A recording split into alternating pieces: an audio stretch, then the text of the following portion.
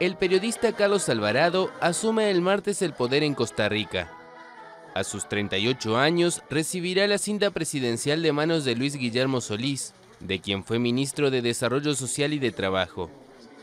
El próximo mandatario deberá impulsar su agenda de gobierno con una bancada limitada en la Asamblea Legislativa, con apenas 10 de los 57 diputados.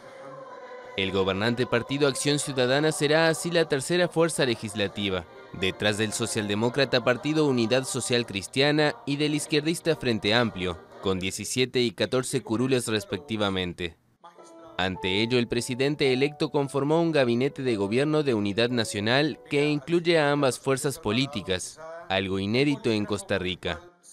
La prioridad de Alvarado es la aprobación de una reforma fiscal para contener el déficit de las finanzas públicas, que alcanza el 6,2% del PBI. Costa Rica ha mantenido un crecimiento estable los últimos años en alrededor de 3,5%, pero no ha logrado reducir el desempleo, de cerca de 10%. Al mismo tiempo vive un incremento de la violencia homicida. En 2017 hubo más de 600 asesinatos, un promedio de 12 por cada 100.000 habitantes, un nivel considerado como epidemia por la Organización Mundial para la Salud.